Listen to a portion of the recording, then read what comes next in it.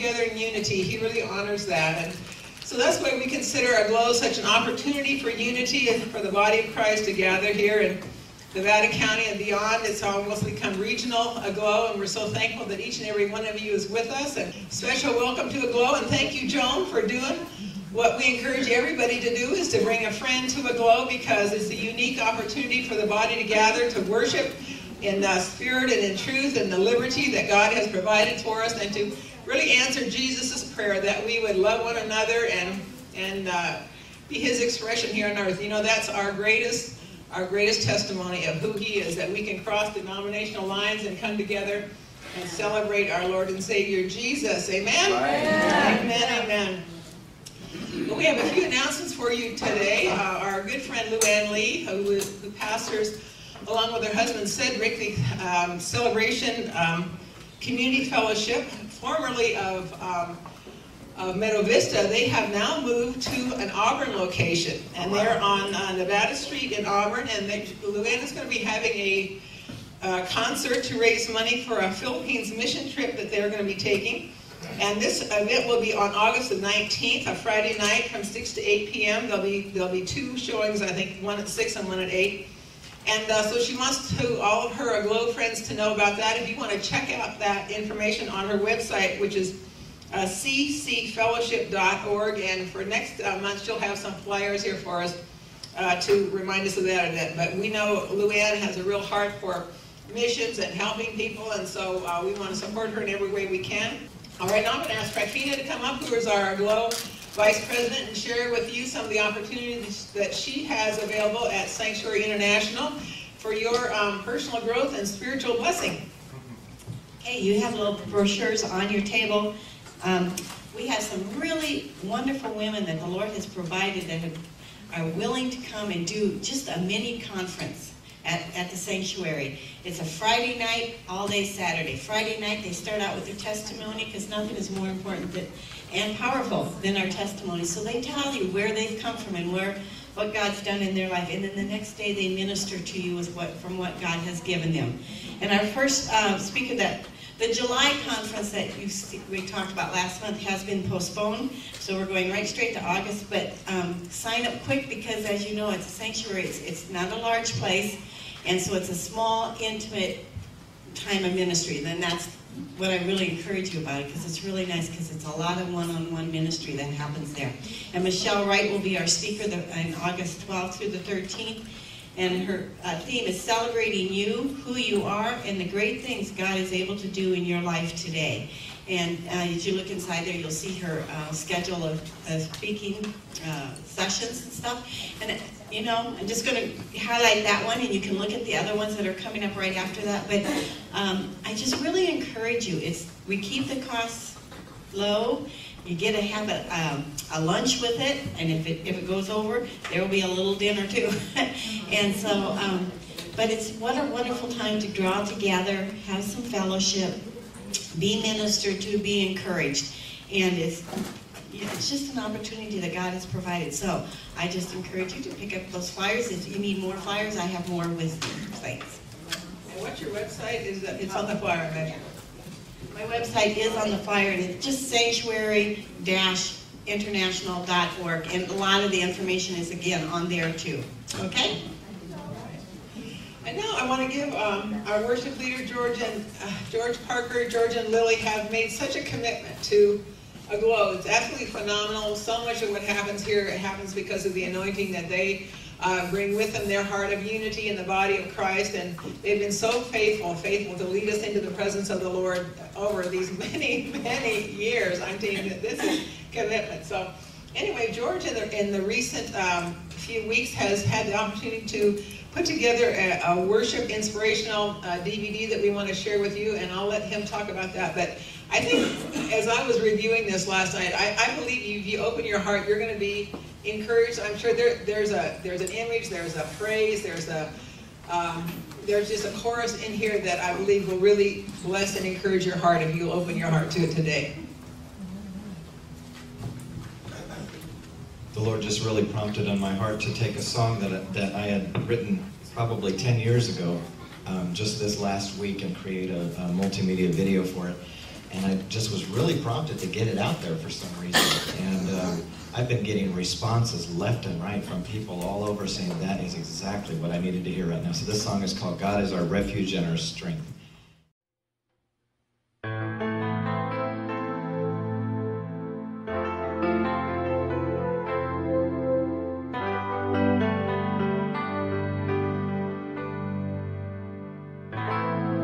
Nations fall down, mountains may shake, but God is our refuge and strength. We will not fear.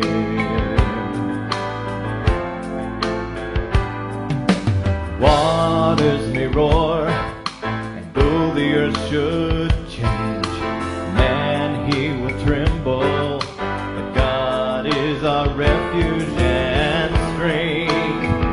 will not fear.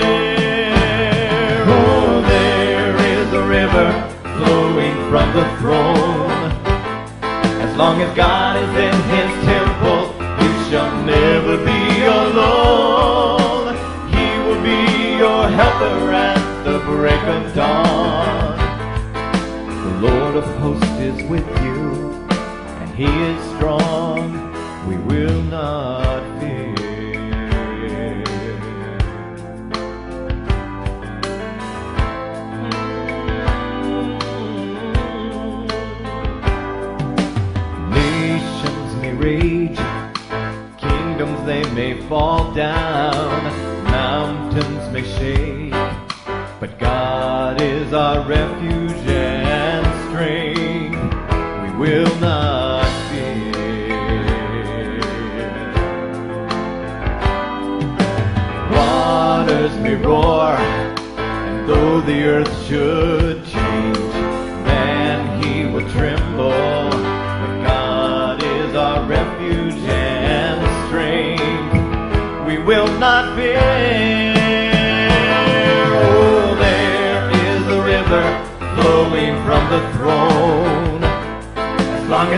Is in his temple, you shall never be alone. He shall be your helper at the break of dawn. The Lord of hosts is with you. He is strong. Oh, there is a river flowing from the throne. As long as God is in his temple,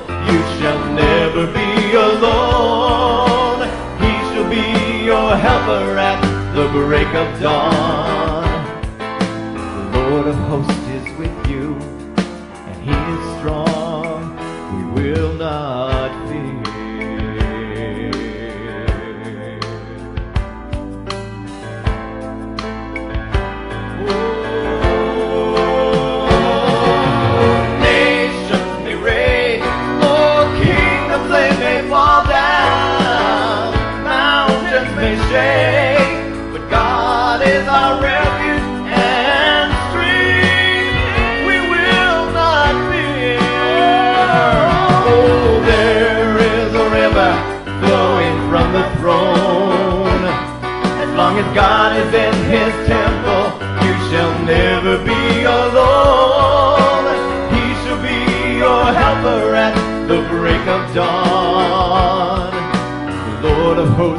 with you, and he is strong. There is a river flowing from the throne. As long as God is in his temple, you shall never be alone. He will be your helper at the break of dawn. The Lord of hosts is with you, and he is strong. Will not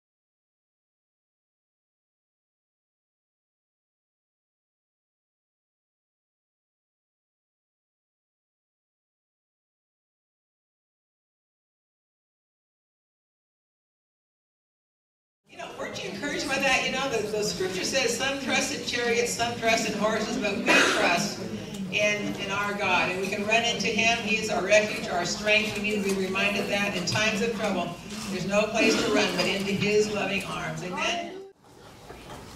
And we're so privileged to have our guest speaker today, Cheryl Edwards, and her husband Terry are here with us in South Lake Tahoe Christian Fellowship. And to tell you the truth, this is a day that I have looked forward to for uh, quite a long time because I feel it's the the fulfillment of uh, the answer to some prayers that we prayed from Pray Nevada County in uh, on the last um, probably the last Tuesday of June in 2005 from uh, Edith and Leon Colas's deck when they were on vacation. They allowed us to go up there and we had been praying in Empire Mine Historic Park and one Tuesday, uh, the Lord said, uh, I want you to pray from the high places, from a high place. And so, uh, closest by, the high place that we knew was uh, Edith and Leon's uh, deck that you can practically see to Utah from there, at least into Nevada from their deck. And so, there was a small group of us up there, and we prayed four prayers very specifically. We said, um, Isaiah 64, oh, that you would rend the heavens and come down, that the mountains would tremble before you. We prayed, open up ye ancient gates, open up ye doors, that the Lord of glory would come in. And George, to see those images of the gates today and the doors, uh, that was, I think, just a prophetic connection of what God has really done. We prayed that God would be glorified in the media, and we prayed that He would help us to establish relationships with people in Reno, uh, Tahoe, Car, uh, Carson City, Truckee, and, and beyond, kind of to the east as we were facing the east. And um, that was on a Tuesday. The following Sunday, in the news, uh, we saw the headlines that um, there had been a 4.8 earthquake in Truckee uh, that had been uh, captured on videotape. The effects of that had been captured on videotape uh, by Wendy Moen, who was filming her husband Eric's service on a Sunday morning. And um, it made the news. She had this little clip of when the earthquake hit, you could just see the rumble go through the floor. Uh, Eric was standing in front of a, a, door, in front of a kitchen situation where it would roll down door. You could just see the move of the earthquake go up that door. And um, then the following Tuesday, in our local paper, the headlines were Temblor punctuates pastor's message. And actually, Eric had been um, had been preaching about Paul and Silas who were in prison praising the Lord. And when he said the word earthquake, God coincided that 4.8 earthquake with his word earthquake. Kaboom, this thing just rolls through the thing. People are jumping, shouting, you know, celebrating. Woohoo! You know, God has just showed up. It was really amazing. But the, our local newspaper reported it as Tuesday's earthquake. Now we had prayed the previous Tuesday for that God would rend the heavens and come down, that He would, the mountains would tremble before Him, uh, and all these things. So after seeing that in the newspaper, we made contact with with Eric and Wendy Moen. We went up there and uh, and began to get to know them. And uh, from that, um, I met Rick and Teresa McKinney, and through the McKinneys, met the uh, Edwards, who pastor uh, pastored for 33 years at Lake Tahoe Christian Fellowship. And before I introduce uh, Cheryl, our speaker, I just feel that this couple is so key to our own personal spiritual heritage because uh, Terry has just written a book in the last few months called The Smartsville Revival. Now, how many of you know where Smartsville is? If you're heading down toward uh, Marysville, you see that little sign. If you've ever taken that little sign and followed out a mile or so, you see that there's not much there right now, but that was a hub of spiritual revival in our area, probably the most significant local revival that we have experienced. The, the manifestations of have just spun out and have really changed the world for uh, the, it's World Legacy that started right there. Many people that we know and love have been influenced by pastors who were raised up in that uh, movement. And um, Terry and Cheryl were, were hippies. I don't want to give the whole story away, but hippies who were looking for uh, spiritual reality in all the wrong places, like many of us were. And um, when God got a hold of them, they they had the capability of just sharing that joy with many, many other people. And um, and they basically took over the town of Smartsville for probably about 15 years or so, wasn't it, Terry? It was probably more like seven or eight. Seven or eight, evangelistically speaking, okay. Seven or eight, but anyway, they, they dominated over there. And so, um, they, Terry has his book here, it's on the back table of of the Smartsville Revival. If you'd like to purchase a copy, it's ten dollars. I really suggest that you do this because, I mean, you will get an idea of what God can do with, you know, just humble beginnings and how he can spin people out to really impact the world. Now I want to introduce our speaker, Cheryl uh, Edwards. If you'll come up, Cheryl. Cheryl and Terry have been pastoring the Lake Tahoe Christian Fellowship for 33 years, and what one of the things I love about their um, model for ministry is that they co-pastor. Yeah.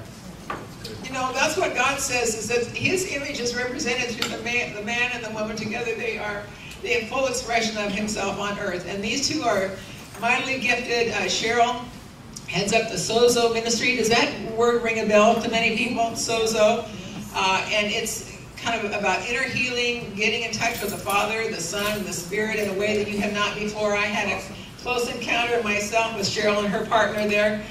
And uh, it, it really makes a difference in your life in terms of opening up your heart to inner healing and really getting to the root issues uh, in your life and connecting with the source of all love, who is our Heavenly Father. So, Cheryl, uh, we're so honored to have you with us today, and we know you brought something from the heart of God for us. And take your liberty, and we're just so honored to have you here. All right, I'll get out of your way. so appreciate Linda, our sister Linda. She's such a wonderful catalyst in the kingdom of heaven. Get things done. It's very exciting to get to know her better. And it's nice to be in an area where people know where Smartville is. Usually you, we talk about the Smartville, where people, Smartville? And you tell them it's by Timbuktu and they really think you're crazy. but um, it was just, actually I just met someone from Rough and Ready. And then they tell you, if you tell somebody it's by Rough and Ready, and they, then they really think you're crazy again. But um, we lived in Smartville for probably oh, three, three or four years, and then the ministry just exploded. We had businesses, we had houses in town, uh, we had several buildings in Smartville itself. We had the big house, and then we bought several of the houses in there, and then um, we lived there, and then we moved around. There was different houses in town, and I remember the first. Um, I wasn't really excited about moving into the house, Smartville house. When my husband said we're going to buy this house with my brother and two other people, and we're just going to see what the Lord does and just invite whoever. Because back then there was a lot of hippies hitchhiking, whatever. They'd invite whoever to come in and live there and be discipled to get saved. And I wasn't very excited about that. And um, I remember the first revelation I got. I had all my kitchen stuff in the kitchen. You know how women are about their kitchen and their kitchen stuff. And all these people using all of my stuff and um, breaking things. And um, my first revelation was um, I went to the bedroom upset one day, and he goes, the Lord goes, "What's more important, your blender or your sister?" So that was like my my first revelation in the Morning Star house. So the Lord gave me gave me a love for the people there, the sister, the women there. My husband and I were in full time ministry, probably three months old in the Lord. Um, women were looking at me like I was supposed to know everything, and I would just open the Bible and act like I did, and somehow God blessed it. we've been actually been in ministry for 40 years. Um, in Morning Star, and then later, uh, I don't know if you know of Church of Glad Tidings. The I don't, I don't know if that's still the name, but is it Church of Glad Tidings in Yuba City? That was our um, church that was started out of Smartville, and then we sent a team to Tahoe, sent a team to San Francisco, sent a team to Sacramento, and that's how we ended up in Tahoe. Was um, the pastor that started the church was my husband's best friend. Grew up with him in Smartville area. Actually, he lived in Timbuktu, my husband's best friend. And um, he took the church. yeah, really. He took the church in uh, Tahoe. It was a team, and I was sent out. And later, they bought a building, and he later passed away um, with cancer. He was in Vietnam, and they think Agent Orange it was affected by him. And then, uh, shortly after that, the, we felt the call, and um, my husband felt the call, and then later I got the call. That's why I'm so appreciative of my husband. He always waits for me to get a confirmation. He doesn't just run ahead and then drag me along. He had the call to, come from uh, Marysville. We lived in Marysville then, and we're uh, helping. Him. He was assistant pastor at the church of Glad Tidings. he got the call to move to Tahoe probably a year before um, my, I got the confirmation and the call to go. So it's a blessing being in ministry with your husband, with especially with my husband. He's so kind and always appreciates me and my side of things, which is usually different from his side.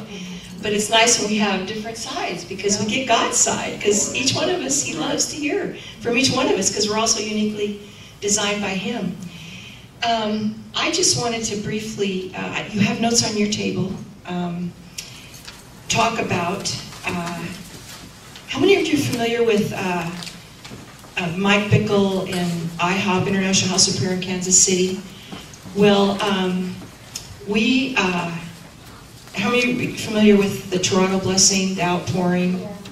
Uh, we were really impacted by the Toronto Blessing, and um, it was kind of like a time where the, where the Spirit of the Lord came and just breathed and blew on the body of Christ, actually to soften more of our hearts, more to receive more of Him for the what, what's coming ahead, which, what we're in now. And um, I was really impacted in the Toronto Blessing. I was kind of at a place of kind of weariness and burnout in ministry, and um, the Lord blessed me with um, visitations, and I got the holy laughter like for days, and He did a lot of emotional healing to me just from laughing, which was really cool. And um, and then I uh, we actually heard Mike Bickle in Toronto when we heard him speak about his whole thing is basically intimacy with the Lord and um, your one-on-one connection with Him, which is the most important thing. Uh, when we first heard him, we were just I was so impacted because I've always been uh, a person that pers- I love to I like I know probably a lot of you love His presence. It's like when I got saved, I said my husband got saved first, and he was sharing with me. I said, "What is this I feel?" He says, "The Lord's presence. Just ask Him into your heart." And I went to the bathroom, asked him in about 20 times, crying, and was born again. And I just have loved the Lord, always loved the Lord's presence. And in the whole uh, Toronto Blessing, which was 94 through 2000, whatever, it was so strong. The Lord's presence was so strong. And he would, um, and then I listened to Mike Bickle, and he began to give a language to what I was always have experienced with the Lord. And always have kind of enjoyed with the Lord. He gave a language to it. And um, so I began to study his um, material. And now, you know, he has an International House of Prayer 24 7, praying like the Tabernacle of David, um, ihop.org if you're interested.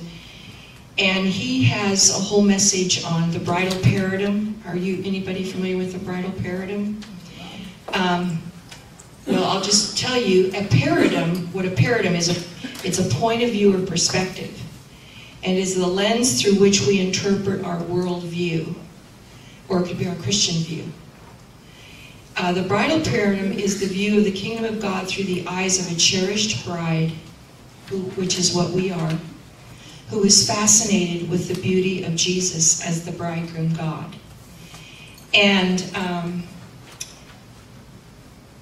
it's actually uh, it's a affectionate based obedience. There's there's three different kinds of obedience. There's affectionate based obedience. There's obedience by faith, and there's fear based obedience. Affectionate based obedience is this is an this is an obedience that flows from experiencing Jesus' love. We understand that He has affections for us, and we experience an impartation of it back to Him. It is the strongest kind of obedience because it results in the deepest and most consistent obedience. A lovesick person will embrace and do anything for the sake of love. Uh, obedience by faith, which is, we all have too. Um, this is an obedience that we walk in when we don't necessarily feel anything, which we all go through that, right? And we are called to walk in faith as obedient children, knowing that doing so pleases God. And then the fear based obedience the obedience flows from fear of punishment or consequences of disobedience. Though it works well in times of temptation, it is not enough by itself to resist the pleasure of sin in the long run. Um, God's nature and personality is filled with tender, loving emotions for his people. And God sees us through a heart that is filled with tender love. Beauty is in the eyes of the beholder. And Mike has a phrase which I love. He says, Lovers make better workers. Um, because he says, you know how when you're in love, when you fall in love with your spouse, you just will do anything. I mean, you will just do anything. Love is the most powerful motivator of anything. Love will just cause you to just sacrifice. Just like when you have a baby, you don't mind sacrificing for that baby, for your children. We all know what it's like for our children.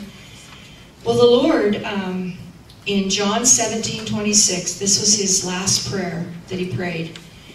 I have declared to them your name and will declare it, that the love with which you loved me may be in them and I in them. So the Lord's last prayer was his love would be in us. And that love would, would be towards the Father.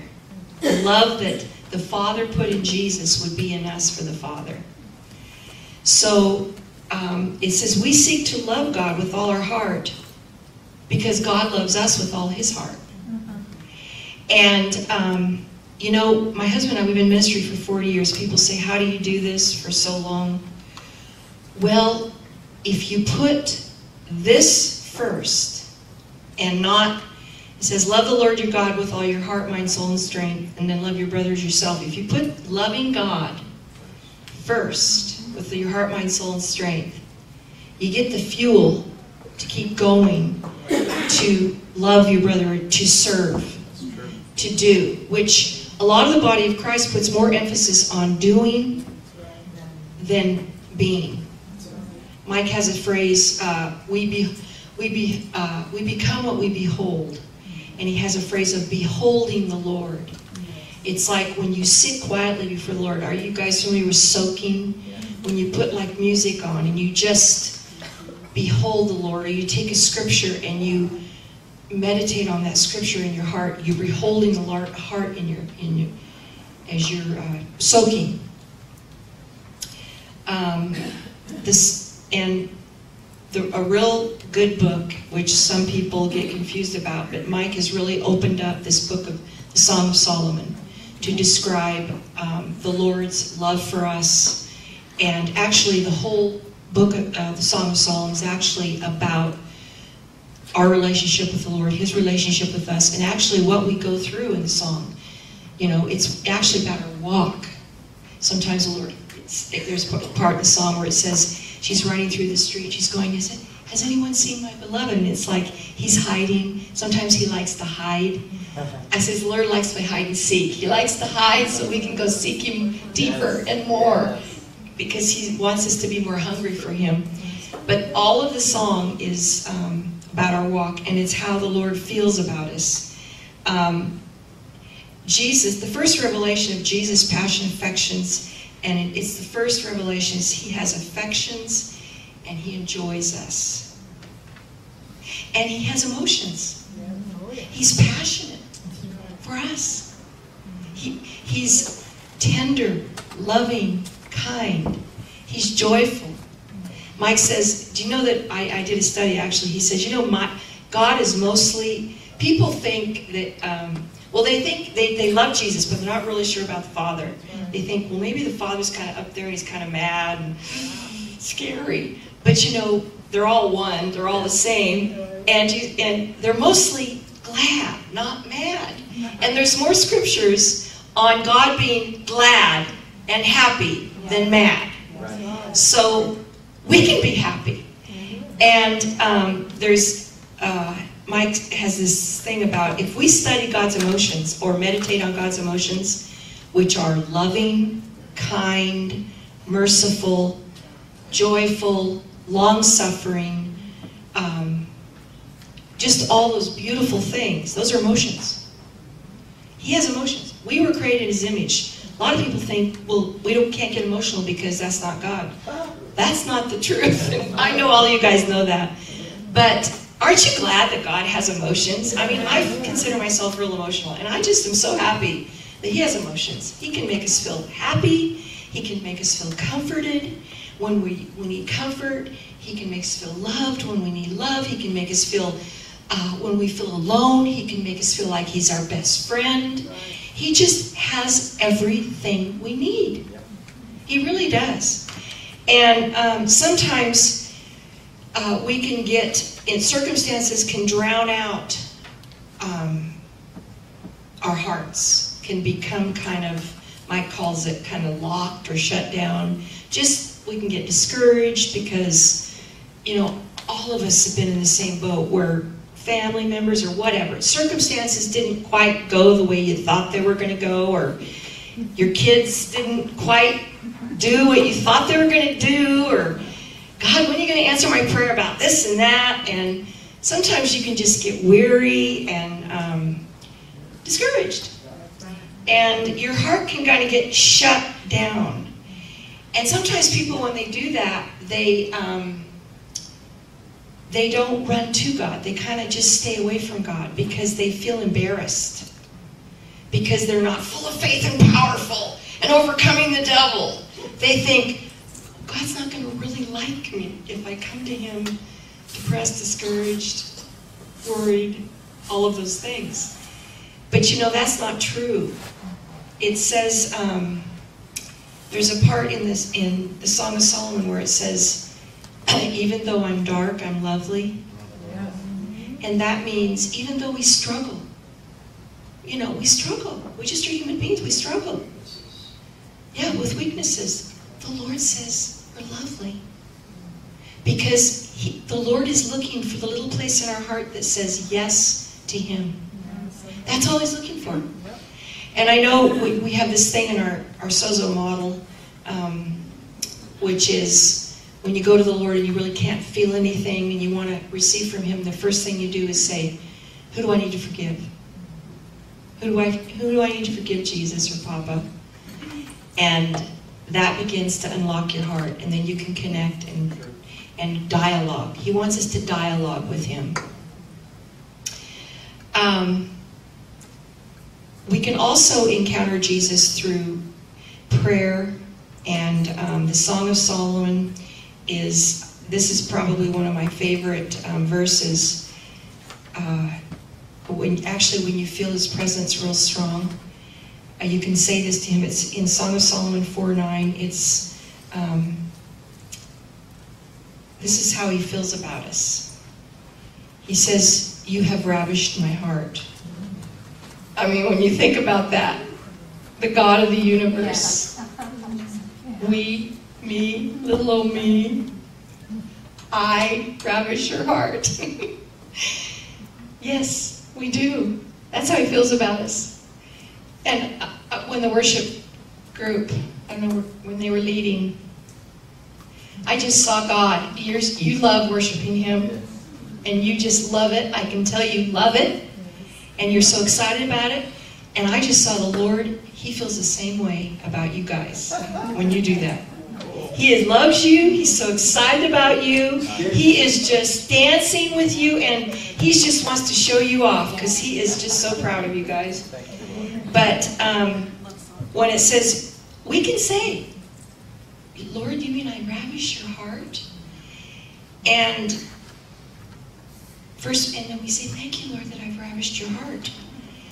And and then it says, "Your love is better than wine." And we we say back, "Thank you, Lord." We can we, we can dialogue with these things that are in the song, and um, and you can ask as your prayer reading, "Show me more, Lord, how I ravish your heart. Show me more. Show me more."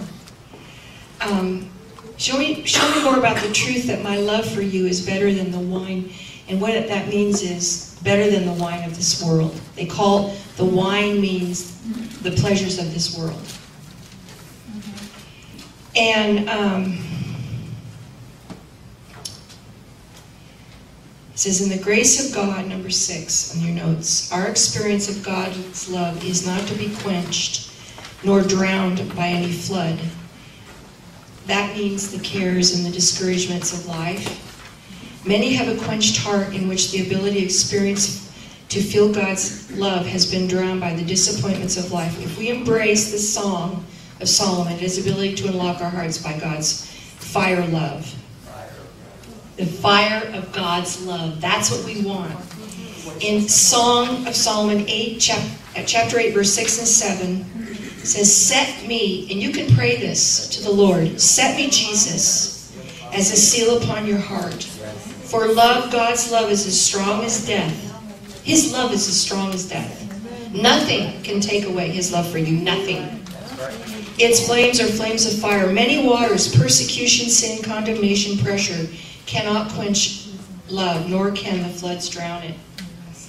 And then in the song, chapter 1, verse 2, it says, Let him kiss me with the kisses of his mouth, which that means his word. Let him kiss me with the kisses of his word, for your love is better than wine. Uh, the word of God was what proceeds from God's mouth.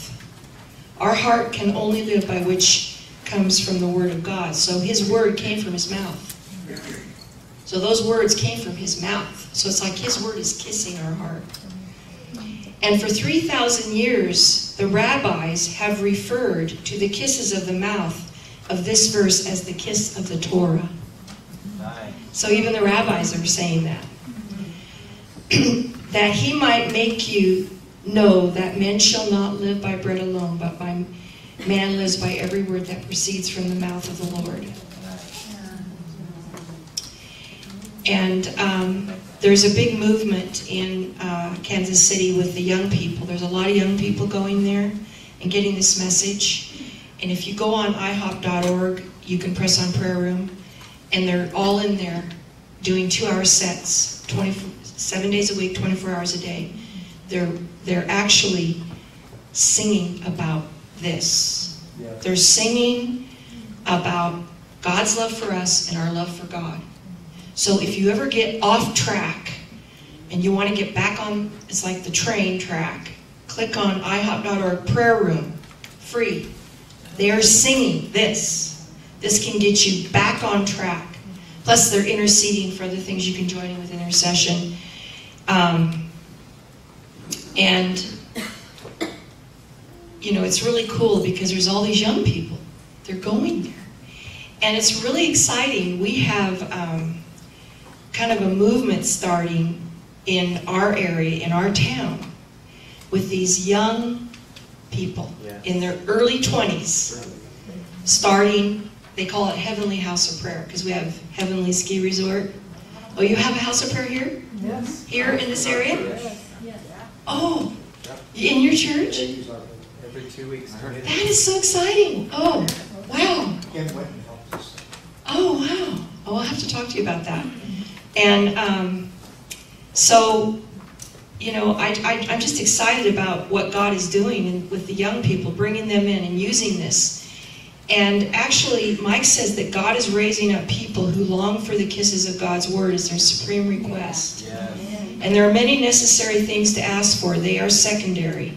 The greatest prayer of faith is to receive grace to love God with all your heart and strength, and to restore the first commandment to first place, which is to love the Lord your God with all your heart, mind, soul, and strength. And God designed us so that experiencing His love is the most pleasurable reality available to the human makeup.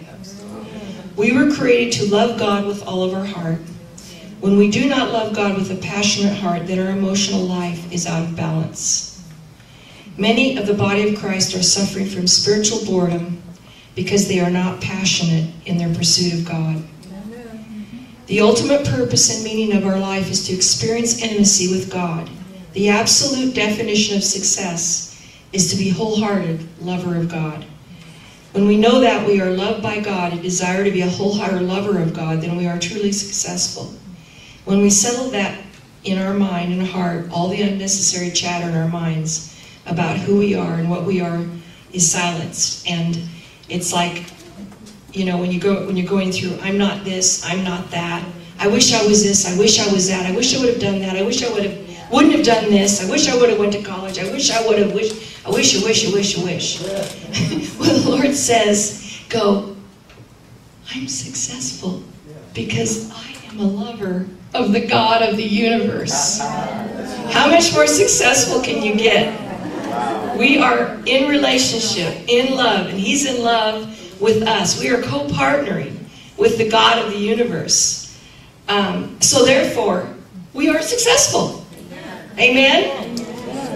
so, the theme of the song is the bride's spiritual journey, journey to be drawn near to Jesus in intimacy and to run in deep partnership with Him in intimacy.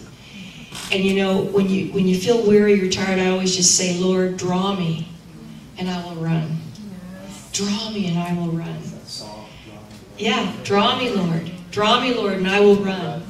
Draw us, Lord, and we will run. You know, and I just appreciate all of you ladies and your perseverance through the years, and you're still going for it for God and standing in this region. You know, my husband was just saying there, there was an article in Time magazine a few years ago about the most unchristian people, unchurched areas in the United States.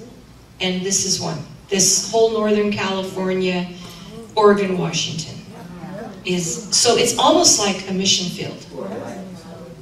Yeah, we're lights. And us in, you know, we're California, Nevada, half Lake Tahoe's California, Nevada. We have now the Lord's blessed us with we have a network of churches, a lot of them from Nevada. Um, it's exciting, and they're actually opening up opening up a house of prayer. Get this in the capital, in Carson City, starting I think next month.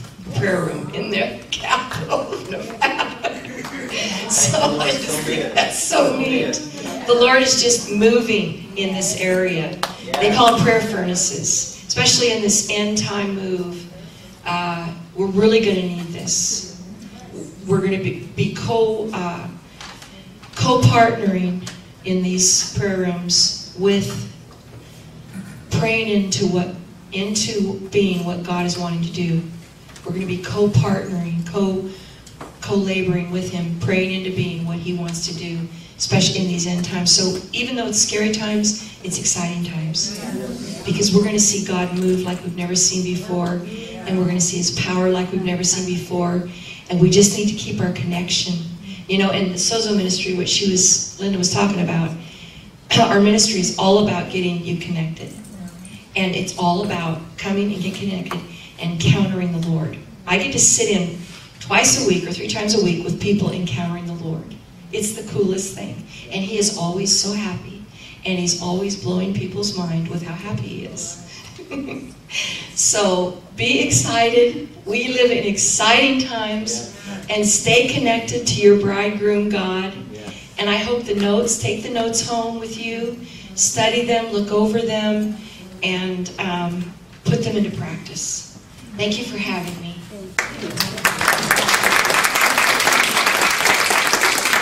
Let me just add a note to this sozo. Actually, Cheryl, what does sozo mean? Saved, healed, and delivered. Yeah, it's in the Greek. In the, that's what the word sozo means in Greek, means saved, healed, and delivered.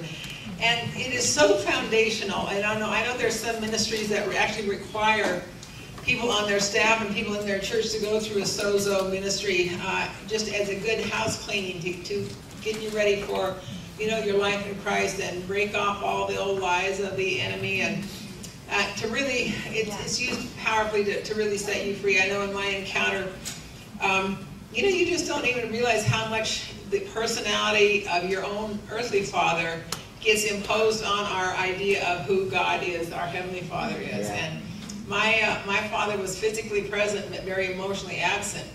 And so, I mean, it was a real wake-up call for me to go through the sozo and begin to open up those that revelation, those lines of connection of, you know, intimacy with the Father. And it was so, so true when we, we um, you know, we like Jesus, we love Jesus, but we don't want to have too much to do with the Father. I did in my own personal life. So That's very uh, common. Pardon? That's very Very common. common, yeah. So, you know, if that's something that's kind of uh, triggered your heart, maybe you've gotten to certain, cards too. yeah, a certain place in your spiritual development, maybe you feel you kind of hit a wall and, and that you want to go further. You want to go into that intimate relationship with our Heavenly Father, but you don't know how to get there. Uh, the Sozo would be an awesome, awesome thing to schedule with Cheryl and her partner up there at Lake Tahoe Christian Fellowship too. it is, it's a wonderful personal investment, not only for you, but the more, more healed you are, the more effective you are in the kingdom.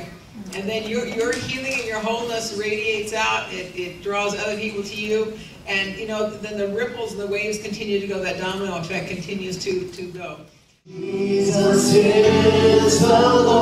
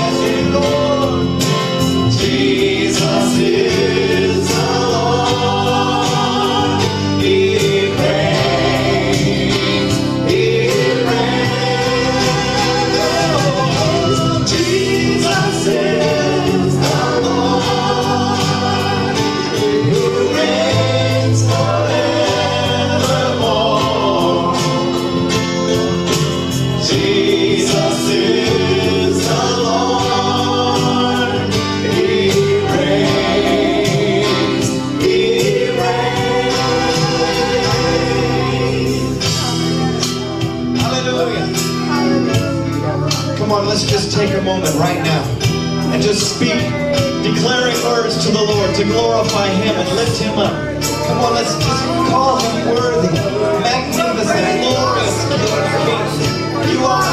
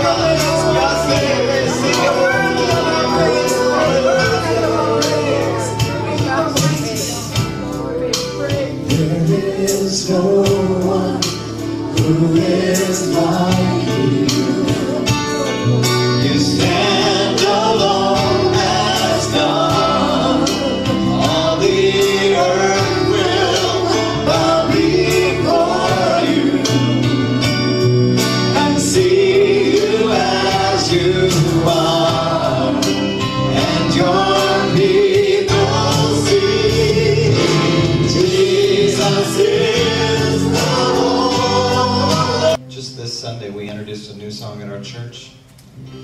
A- A 17 year old in our church wrote. We have been seeing the Lord raising up new psalms, new psalmists, new worshipers, new people. And, and uh, this song was written by a young man named Billy Beard. And, and I just want to share it with you this morning. Sing along with us if you can. It is a beautiful song.